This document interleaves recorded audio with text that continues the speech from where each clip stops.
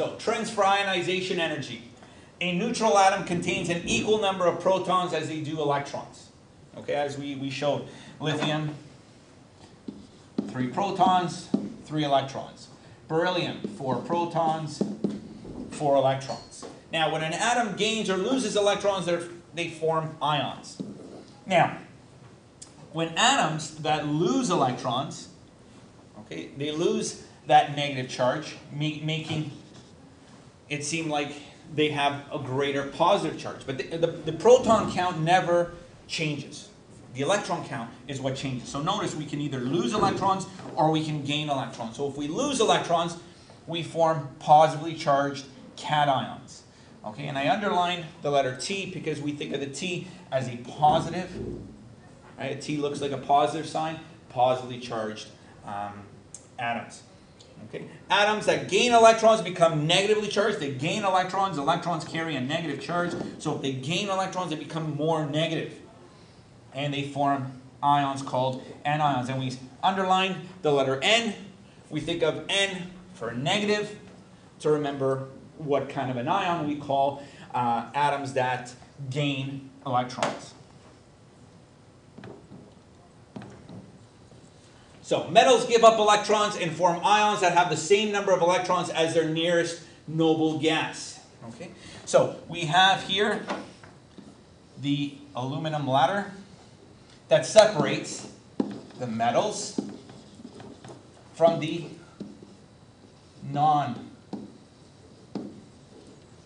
metals. If you look at the periodic table, if you have one of the really good ones, you'll notice that metals have a tendency to give up the electrons forming positively charged cations.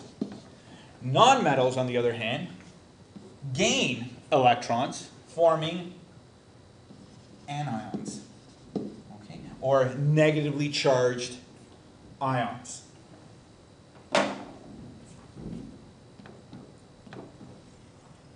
Ionization energy. It takes energy to overcome the attractive force of a nucleus and pull an electron away from a neutral atom. The energy that is required to remove an electron from an atom is called the ionization energy. Okay? So for an atom to lose the electron, that's what we're looking at.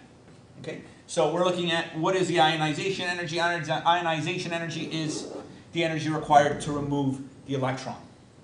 So if we're removing the electron, how likely is the atom to become positively charged or to become a cation.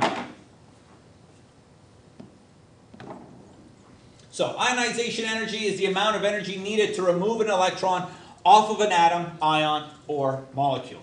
So the following bar graph that can be found at 800mainstreet.com shows the ionization energy in kilojoules per mole of the atom. So the bar graph shows that metals have relatively low ionization energy. Okay? They require very little energy to lose their valence electrons. While the nonmetals have higher ionization energies because they do not want to get rid of those electrons.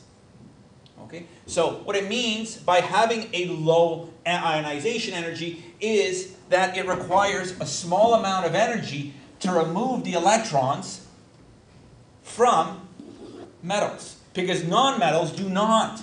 These nonmetals do not want to give up electrons. They want to gain the electrons. Okay? These alkali metals are the most reactive.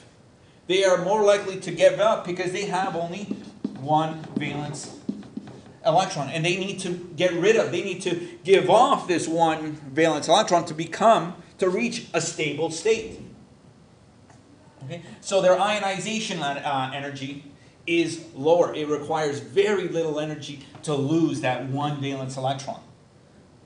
Okay? So the lower the ionization energy, the easier it is to get rid of it. The higher the energy level, the less likely it is to get rid of their electrons. So, nonmetals like neon, fluorine, oxygen have high ionization energies. They are unlikely to get rid of their electrons. Okay? They have, because they have a strong attraction for these valence electrons. Remember, the radius is getting smaller as we're moving across. So there is a stronger pull of their outermost electrons to the nucleus. So they're less likely to want to lose electrons. Okay? So nonmetals hold onto their electrons. In fact, nonmetals gain electrons to form negative ions called anions. So higher energy levels, okay? So higher ionization energy because they do not want to get rid of those electrons. Because those electrons have a tighter hold to their nucleus. So, energy required to remove one electron is called the first ionization energy. Energy required to remove the second electron is called the second ionization energy. The third electron is the third ionization energy, and so on and so on. So, alkaline metals have low ionization energies because they are extremely reactive and require little energy to remove their single valence electron. They want to reach that stable octet. In order for them to reach that stable octet, they must get rid of that one electron. So why have a high ionization energy? It'll have a very low ionization energy because it wants to reach that stable octet with the inner shell.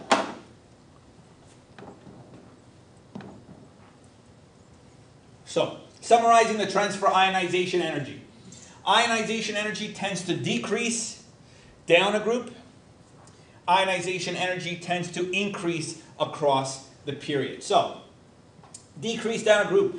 Electrons in the outer energy level are farther from the positive force of the nucleus. Okay? So we look at the atomic radius. If the atomic radius is greater, okay, it has a less pull on that one valence electron. Okay, because it's further away from the nucleus. So these electrons are easier to remove than the electrons found in lower energy levels because they're closer to the nucleus. Ionization energy tends to increase across a period. The attraction between the nucleus and the electrons in the outer energy level increases. Why? Because we are adding, we are, we are looking at more and more electrons found in that outermost energy level. So this requires more energy to put, pull an electron from its atom. So if we look at lithium, and we look at, well, we have the first energy level, two electrons, and the second energy level, which has that one electron. And then we move all the way across to an atom like oxygen, that in its first energy level, it's got two electrons. And its, its second energy level, it has six electrons. So there are more electrons in their outermost in their outermost energy level. So there is a greater pull towards the protons of the nucleus than there is here. So there's less Okay, less of an attraction with that outermost electron. Okay, that's why noble gases have a higher ionization energy. These are less likely to want to lose these electrons. They're less likely to want to lose them because there is a stronger pull to the nucleus than there is here, which there is a weaker pull. Low ionization energy, high ionization energy.